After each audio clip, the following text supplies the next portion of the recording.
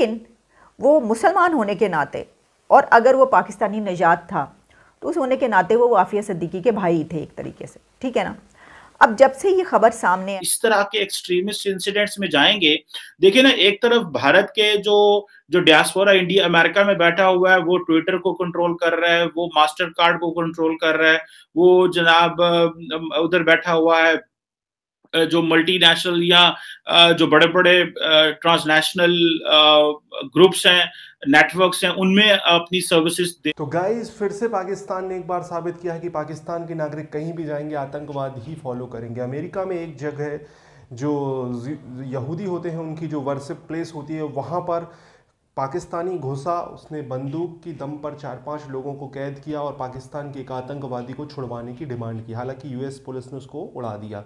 उसी बारे में बात हो रही है। पहले पूरा वीडियो देखते हैं, फिर वीडियो के अंतिम भाग में करते हैं कुछ बात। प्लीज़ के अमेरिका से एक खबर आई है कि अमेरिका के अंदर एक सिनागॉग में एक शख्स ने कुछ लोगों को होस्टेज बना लिया और बाद में अमरीकी जो फेडरल बोर्ड ऑफ़ इन्वेस्टिगेशन है, उन्होंने भी ये कहा कि जितने होस्टेजेस थे उनको रिलीज़ करा लिया गया है और चीज़ें ठीक हैं।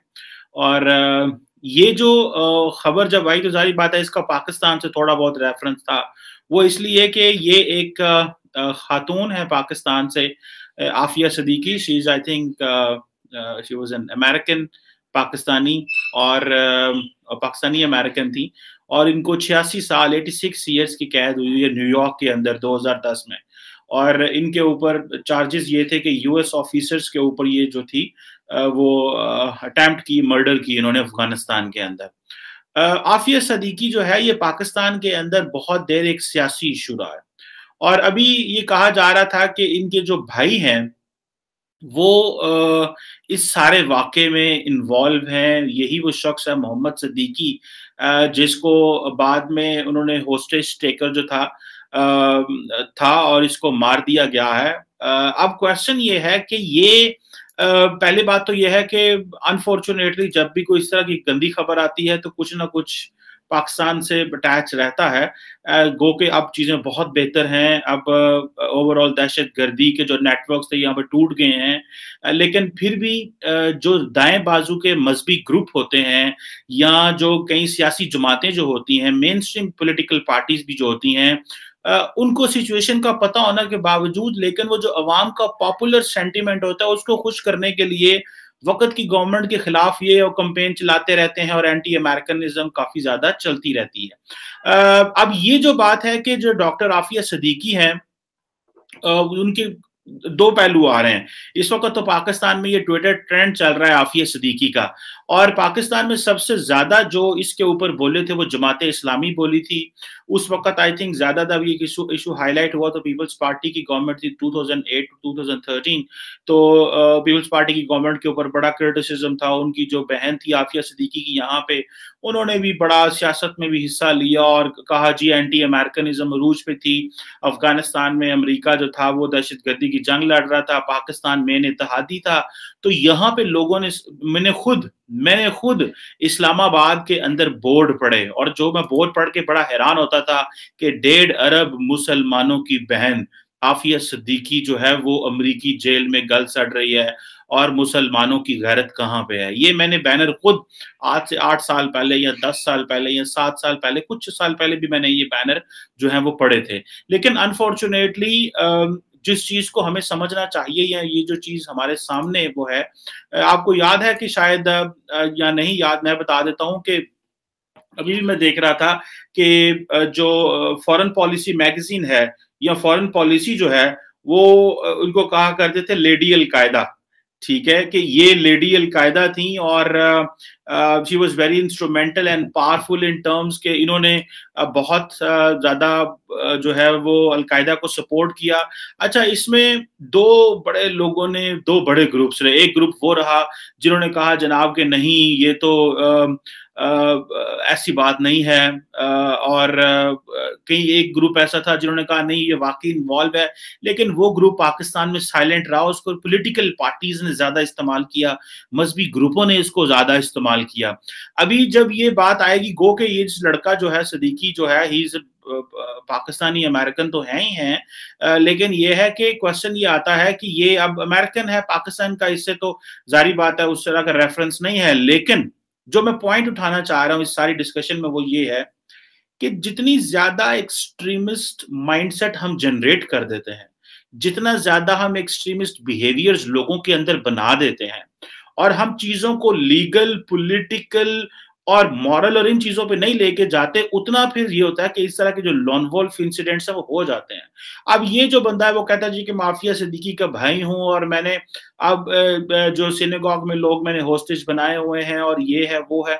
अब प्रेसिडेंट बाइडन जो है उन्होंने भी कई दफ़ा इस पे कहा है, पूरी दुनिया ने कहा है जी कि हम एंटी सेमेटिज्म और ये जो राइज ऑफ़ एक्सट्रीमिज्म है, इसके खिलाफ जो है वो हम काम करते रहेंगे। पूरी दुनिया एक्सट्रीमिज्म के खिलाफ है, लेकिन हमारे यहाँ यहाँ पे जो सियासतदान थे, उन्होंने आफिया सद्दीकी के मसले को बहुत ज़्यादा हाईलाइट किया और कॉन्टिन्यूसली इसको Pakistan versus America, Muslim versus Christianity जो है वो मसला बना के रखा, जिसकी वजह से अवाम के अंदर एक जो था वो जिसे कहते हैं ना इस तरह एक पाया जाता था और ये चीज़ें जो है वो है। ये तो दूसरी बात यह है कि अब देखिए हालात इस तरह के पैदा हो रहे हैं कि मैं देख रहा था कि council on American Islamic relations एक यूएस मुस्लिम एडवोकेसी ग्रुप है, उसने भी इस तरह के वाक्य को कंडेम किया है कि जो मुसलमानों के जो लड़के और लड़कियाँ हैं, अगर वो इस तरह के एक्सट्रीमिस्ट इंसिडेंट्स में जाएँगे, देखिए ना, एक तरफ़ भारत के जो आई ये सब कुछ होता रहा तो फिर ये ट्रेंड्स भी चलने शुरू हो गए। मसलन एक ट्रेंड उसमें ये था कि जैसे कि आमतौर पर पाकिस्तानी और मुसलमान होने के नाते आफिया सिद्दीकी की रिहाई का मुतालबा बार बार किया जाता है। तो एक ये ट्रेंड भी चलता रहे। कहा जाता रहा कि देखिए, ये गलत है और फिर ये शुरू हो गया कि आफिया सिद्दीकी मासूम हैं, उनको रिहा किया जाए। उनके साथ अमेरिकन और यहूदी और यहूद नसारा और काफिर जो कर रहे हैं, वो गलत कर रहे हैं और सिर्फ़ मुसलमान इस चीज़ की सज़ा दी जा रही है, वगैरह वगैरह, ये सब कुछ चलता रहा। तो उन तमाम लोगों से देखिए, मेरा सवाल ये है कि सबसे पहले तो आपको उसका गरेबान पकड़ना चाहिए या उनसे सवाल करना चाहिए जिन्होंने आफिया सिद्दीकी को अमेरिकन के हवाले किया।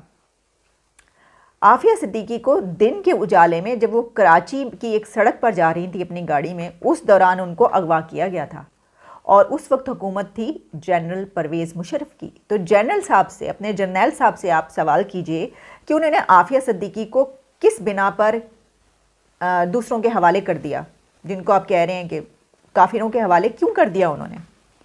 और किस लिए? क्या कोई सौदा हुआ है? देखिए, अब उस दौरान जो है, फिर उसके बाद से वो जुमले भी होने शुरू हो गए कि जी, ये तो पैसे की वजह, ये तो माँ बहन और ये सब कुछ जो है, वो होता रहा कि ये भी कर देते हैं और ये उस वाक्य के बाद बड़ी बड़ी बातें की गई फिर, ठीक है ना?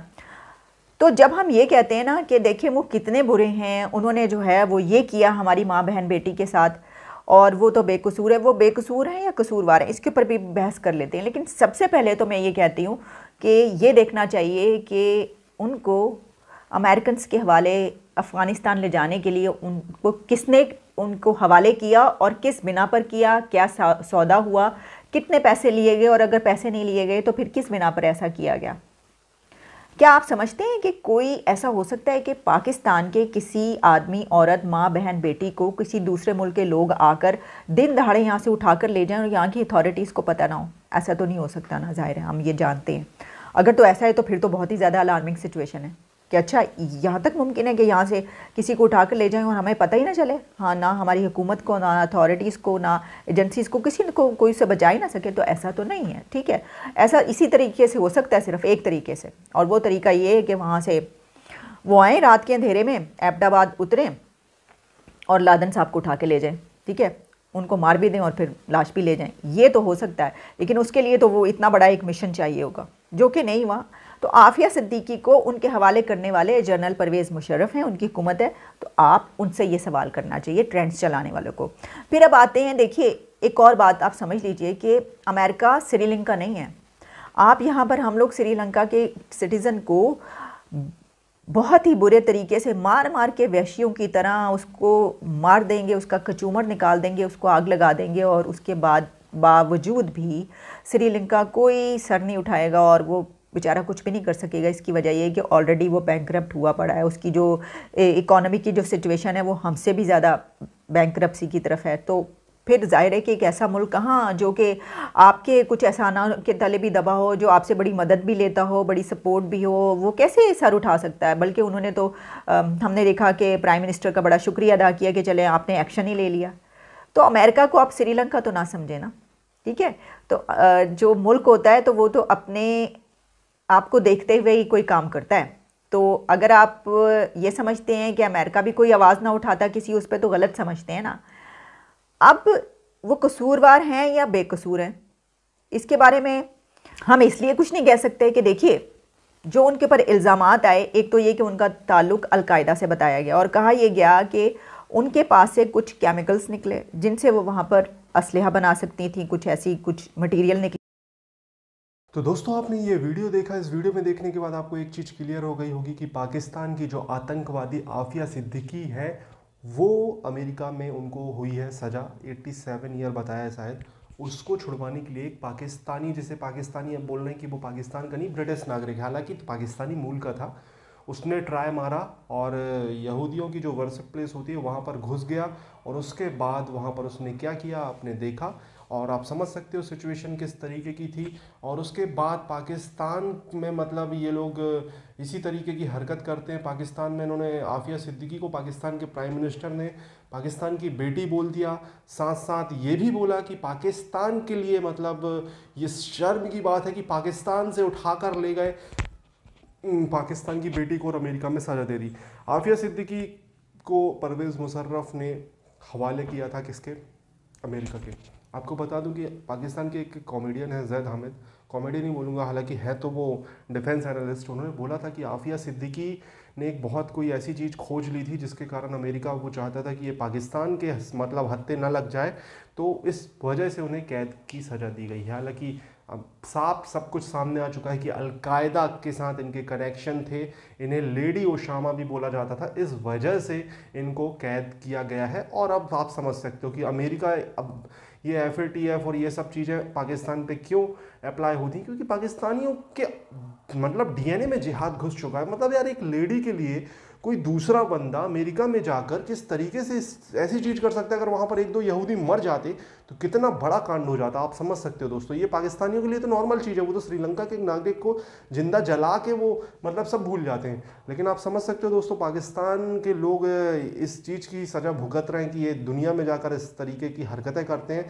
फिर बोलते हैं कि हमारे पासपोर्ट की वैल्यू नहीं है, हमें इग्नोर किया जाता है, हम मुसलमान हैं, हम ये हैं, फलाना है, भारत हमें आइसोलेट कर रहा है। ये खुद अपने आप को आइसोलेट करते हैं खुद अपने पैरों में ऐसी कुल्हाड़ी मारते हैं कि ये कभी खड़े नहीं हो पाते हैं। तो दोस्तों, अभी ये वीडियो खत्म होता है। प्लीज़ चैनल को सब्सक्राइब करिएगा, वीडियो को लाइक करेगा कॉमेंट सेक्शन में अपने सुझाव ज़रूर दीजिएगा। जय हिंद।